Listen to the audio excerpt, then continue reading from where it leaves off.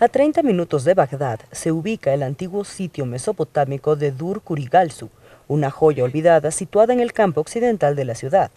A pesar de haber sido un sitio común para picnics y paseos de fin de semana, el lugar ha caído en el olvido de las autoridades en los últimos 16 años, desde que comenzó la guerra en 2003.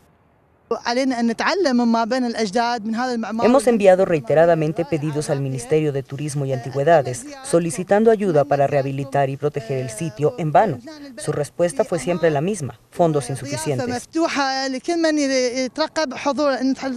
Tras los saqueos y el conflicto, el lugar está lleno de basura y grafitis. El Gran Sigurat, que domina el sitio junto con el complejo de templos adyacentes construidos con ladrillos secados al sol, esteras de caña y fardos, han perdido gran parte de su valor.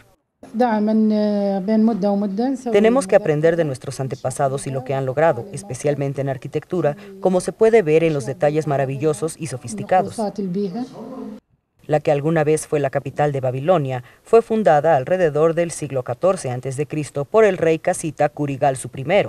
Su sigurat, de 171 pies de altura, es una de las 10 estructuras más antiguas de Irak.